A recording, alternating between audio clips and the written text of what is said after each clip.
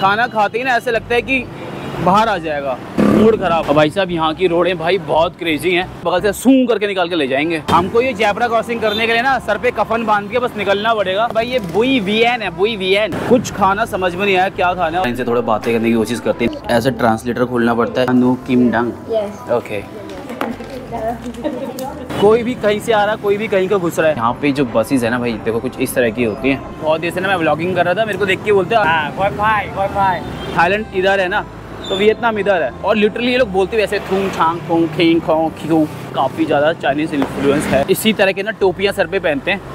नींबू टाइप के लग रहे हैं यार, ये तो बहुत बड़े बड़े ड्राइवर ना उस साइड पे बैठे हैं। जैसे यूएसए में कनाडा में होता है ना कि हमें यहाँ पे कुछ अपने भाई लोग मिल गए, उत्तराखंड के ही हैं। ये वाला एरिया ना थोड़ा टूरिस्टिक सा लग रहा है। राम राम जी, कैसे भाई लोग? भाई, मैं तो बहुत अच्छा हूँ। आई होप कि आप लोग भी अच्छे होंगे। इस टाइम मैं होचीमन सिटी में हूँ। कल रात को मैं यहाँ पहुँच गया था भाई रूम में गया हूँ और सोया हूँ। कोई होश नहीं रहा।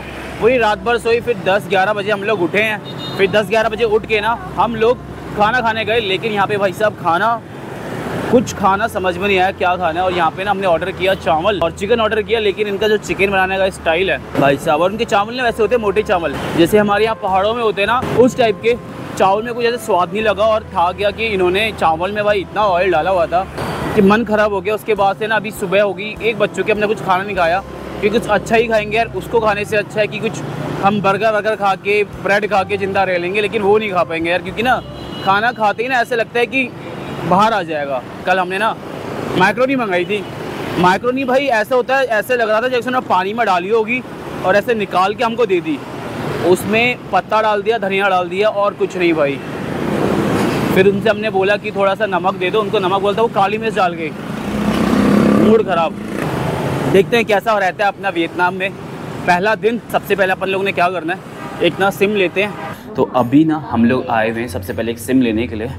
और हमने यहाँ पे मोबी फ़ोन करके, ये सबसे फ़ेमस है यहाँ पे। मैंने एक सिम तो ना एयरपोर्ट पे ले ली थी। तो एयरपोर्ट पे जो सिम मेरे को तकरीबन ग्यारह 1100 1200 रुपए की पड़ी है, वो सिम यहाँ पे मेरे को 700 रुपए की पड़ रही है। तो इनके जो रेट है, वो क्या है? दो लाख दस हज़ार पी एन यानी कि इंडियन सात सौ रुपये में ये हमको six G B per day data मिलेगा।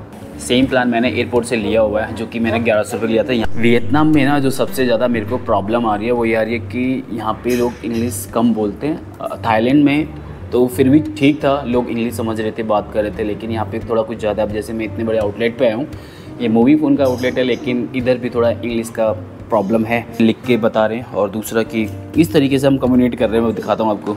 एज अ ट्रांसलेटर खोलना पड़ता है, इसमें फिर मैंने इंग्लिश टू वियतनाम किया हुआ जैसे अब मैं उनको बताऊँगा कि इज़ इट डन तभी मेरे को बताएँगे, देखना कैसे रिएक्ट करते हैं। Excuse me ma'am excuse me no तो भाई, ऐसे कम्युनिकेट करना पड़ता है। देख रहे हो? तो भाई जब तक हमारा काम होता है इनसे थोड़ा बातें करने की कोशिश करते हैं इनकी लैंग्वेज में तो मैं इनसे पूछता हूँ। अब मुझे भी नहीं पता ना वियतनाम में कैसे बात करते हैं तो मैं इनसे पूछता हूँ ठीक है?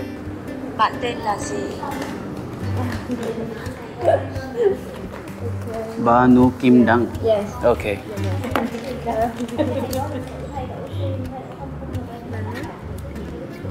अब ये बोल नहीं पा रहे तो हमें लिख के दिखा रहे हैं। मैंने इनको पूछा बस योर नेम तो बोलते हैं बा तिन लंगी vàng. Ba Ning Kim Dung so long name या long name in India we have only one word name my name is Vicky Yes. My name is Vicky your name is Ba Nu Kim Dang Yes. बहुत लंबा नाम है। तो भाई जी हमारी SIM ना मिल चुकी है। अब मेरे को इनको थैंक यू बोलना है। तो मैं वही ट्रांसलेट कर रहा हूँ कैसे बोलते हैं। कैमॉन भाई, जितना ऑर्गेनाइज थाईलैंड था ना, जहाँ जितना वहाँ पे मतलब रूल रेगुलेशन थी थाईलैंड में नहीं है वियतनाम में नहीं है, यहाँ पे देख रहे हो, कोई भी कहीं से आ रहा है कोई भी कहीं का घुस रहा है। कोई स्ट्रीट लाइट कोई मतलब रेड लाइट नहीं है, कोई कोई ट्रैफ़िक लाइट नहीं है, कुछ नहीं है। बस लोग चल रहे हैं अपनी मर्ज़ी के हिसाब से। ये देखो, कोई इधर को आ रहा है कोई इधर को जा रहा है कोई हिसाब किताब नहीं है भाई। अभी हम लोग यहाँ पे पाँच मिनट हो गए खड़े हुए। जैबरा क्रॉसिंग करने के लिए लेकिन कोई रुकेगा तो हम जाएँगे भाई। हमको ये जैबरा क्रॉसिंग करने के लिए ना सर पे कफन बाँध के बस निकलना पड़ेगा। लोग आ ही जाएँगे। जो रुकेगा रुकेगा नहीं तो उड़ा देगा हमें। Okay Tim Tim. wifi. Wifi okay okay तो भाई ये ना गार्ड भाई है यहाँ पे बैठा हुआ था। हम बहुत देर से ना मैं व्लॉगिंग कर रहा था। मेरे को देख के बोलते आ रही हो यूट्यूबर मैंने कहा यस फिर इन्होंने यूट्यूब चैनल का नाम मांगा मेरे से तो मैंने यूट्यूब चैनल को नाम दिया है। तो ये सब्सक्राइब कर रहे हैं मेरे चैनल को। बाकी अभी ना, आज हम आपको ना होचीमन सिटी दिखाते हैं कि भाई होचीमन सिटी दिखती कैसी है। बाकी मैंने आपको आइडिया दे दिया। मेरे को यहाँ वियतनाम में आने से पहले ऐसे लग रहा था कि जो वियतनाम है ना भाई, थाईलैंड जैसे ही होगा। लेकिन अगर वियतनाम, थाईलैंड इधर है ना तो वियतनाम इधर है। मतलब वो इंफ्रास्ट्रक्चर के हिसाब से बाकी मेरे को लोग यहाँ पे फ्रेंडली मिल रहे हैं, अच्छे लोग मिल रहे हैं। बाकी अभी हमको दो तीन घंटे ही हुए एक आध घंटा ही हुआ है, निकले हुए सड़कों पे। धीरे धीरे पता लगेगा, कल रात को तो हम खुद होश में नहीं थे क्योंकि नींद इतनी थी ना भाई। जाते सीधा सो गए थे।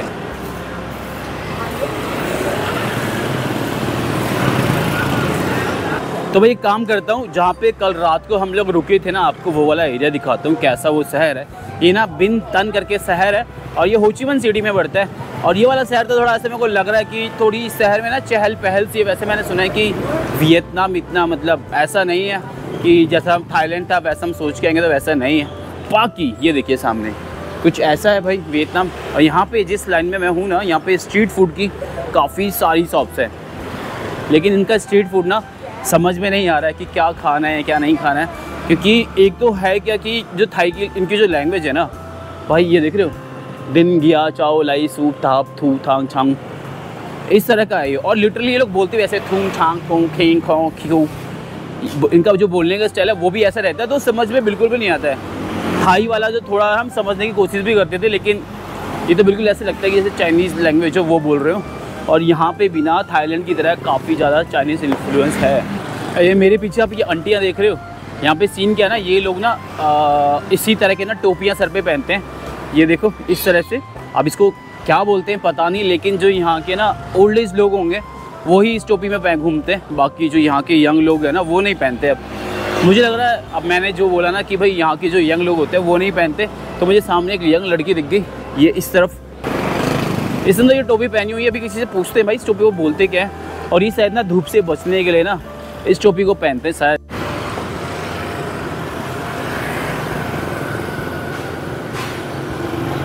ये जगह पूरी ना इनकी स्ट्रीट फ़ूड के लिए फ़ेमस है। यहाँ पे आप देख लो लाइन से ना, सारे स्ट्रीट फ़ूड के स्टॉल लगे हुए हैं। लेकिन अभी नहीं, रात के छः से सात बजे के बाद ना यहाँ पे आपको इतनी भीड़ भाड़ दिखाई देगी।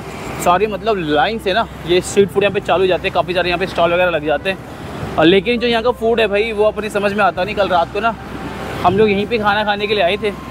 एक तो ना यहाँ पे रोड क्रॉस करनी हो ना तो भाई आफत आ जाती है। अब मेरे को ना एक नई चीज़ दिखाई है, मैं आपको दिखाता हूँ। अब आप बताना उसको क्या बोलते हैं। ये देखो, क्या चीज़ है, पता नहीं, लेकिन बड़ा बड़ा सा है यार। जैसे अपने यहाँ पे संतरे होते हैं ना।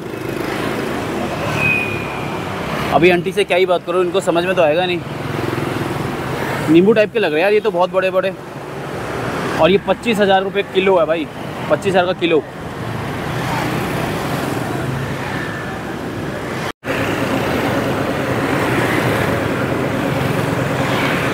अभी ना हेलोइन आने वाले हैं ना। तो उसके लिए यहाँ पे दुकानें सज गई यहाँ पे हेलोइन के टाइम पर यहाँ पे दुकानों में इस तरह से चीज़ें मिलती है। ये देखो। देखते हैं। हेलोइन पता है ना, वो सब लोग भूत वगैरह बन के घूमते हैं और ऐसे अलग अलग कपड़े पहन के घूमते हैं। उसको हेलोइन बोलते हैं। ऐसे यहाँ पे टोपियाँ वगैरह भी हैं। और यहाँ पे इन्होंने ग्लव्स वगैरह रखे हुए हैं। ये रखा हुआ भाई।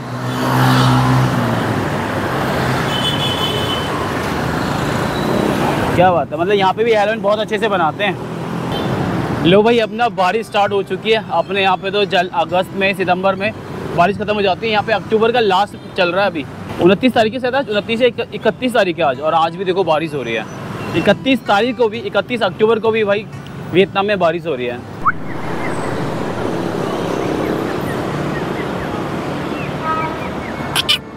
कल रात को जहाँ हम लोग रुके थे ना, वहाँ से हम लोग निकल चुके हैं। अब मैंने बुकिंग डॉट कॉम से एक होटल बुक कर लिया है। मात्र चार सौ रुपये का इंडियन करेंसी के हिसाब से अपने होटल से हम बस से निकले और यहाँ पे जो बसेज़ है ना भाई, देखो कुछ इस तरह की होती हैं।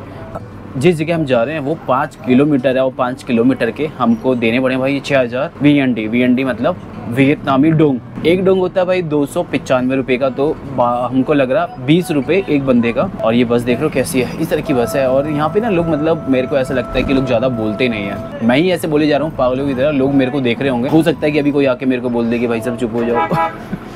क्यों चिल्ला रहे हो? जबकि मैं बहुत धीरे बोल रहा हूँ, इसी वजह से ना हमने माइक लिया हुआ है। और ये मैं अभी आपको दिखाता हूँ, यहाँ का टिकट का सीन क्या होता है।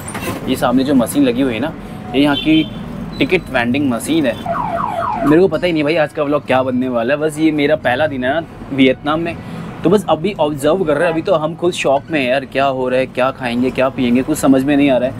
अभी रास्ते नहीं पता है, यहाँ का जो ट्रांसपोर्टेशन है, वो नहीं समझ में आ रहा है। थाईलैंड में हमको पंद्रह दिन हो गए थे और स्टार्टिंग के दो दिन हमको ऐसे ही लगे थे भाई, समझ भी नहीं आता क्या करना है, कहाँ जाना है, कैसे जाना है, होटल से निकल रहे थे ना तो ऐसे ब्लैंक हो जाते थे। समझ ही नहीं आता था कहाँ जाना है, आज भी ऐसा पता ही नहीं कहाँ जाना है। जबकि होचीमन जो सिटी है, इनका कैपिटल है वियतनाम का। आई थिंक ना, इनका कैपिटल है शायद। अगर मैं गलत हूँ तो कमेंट बॉक्स में मुझे बता देना। और जितनी चीज़ें होचीमन सिटी में है ना, बाकी वियतनाम में नहीं है। तो होचीमन सिटी में अभी हम इतना कन्फ्यूज़ हो रहे हैं कि कहाँ जाएँ कहाँ जाएँ, जबकि इतना कुछ है यहाँ पे।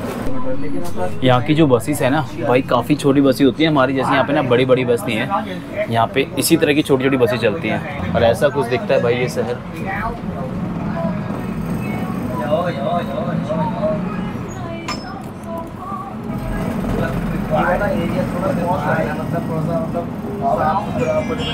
मेरे को ऐसा लग रहा था कि वियतनाम ना काफ़ी मतलब ऐसा इतना हाई फाई नहीं होगा, लेकिन ये वाला एरिया देख के लग रहा है कि वियतनाम में भी हाई राइज बिल्डिंग है। वियतनाम भी काफ़ी पॉर्स है, लेकिन इनके एयरपोर्ट वाला एरिया इतना कुछ खास नहीं था।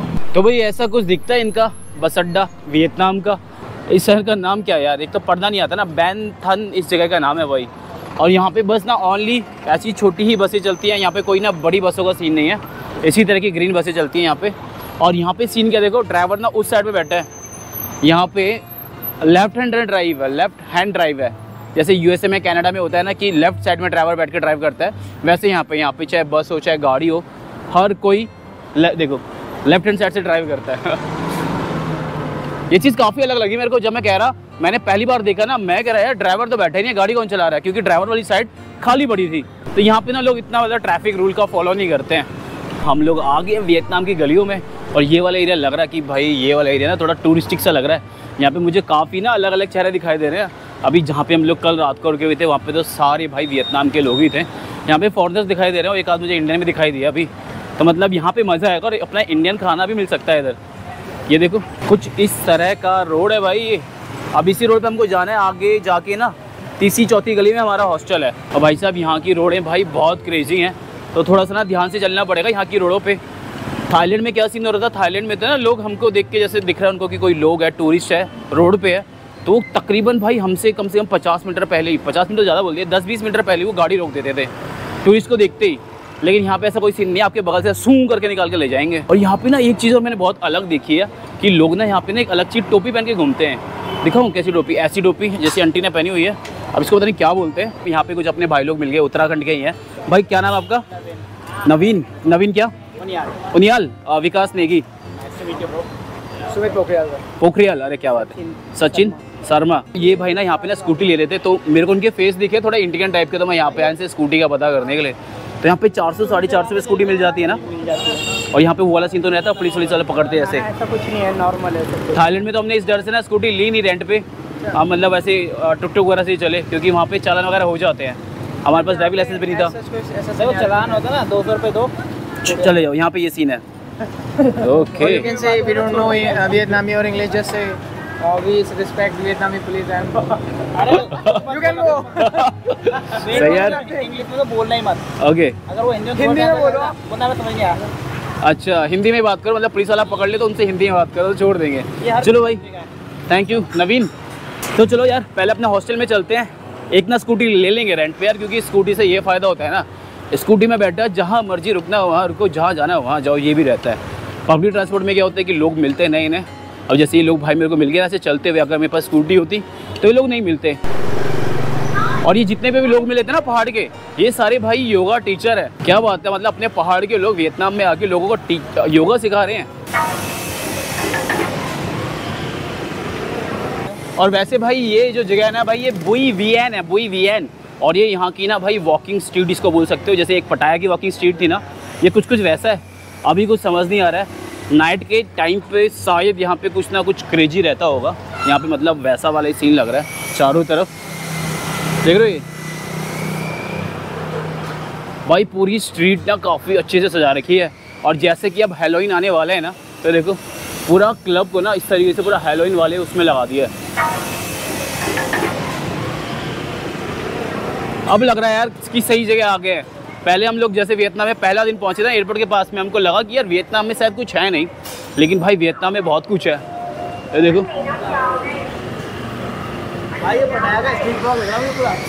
तो भाई जी हमने अपने हॉस्टल में पहुँच चुके हैं और हमारा हॉस्टल भाई साहब जो वियतनाम की सबसे फ़ेमस गली है ना वॉकिंग स्ट्रीट ये वाली इसी के पास में ही है। और ये हमारा जो हॉस्टल है इसका नाम क्या है? विट ड्रीम विथ विथ मतलब वियतनाम वाला विथ और ड्रीम्स करके ये हॉस्टल है। तो अंदर चलते हैं और आज की जो रात है ना हमारी यहीं रहने वाली है भाई।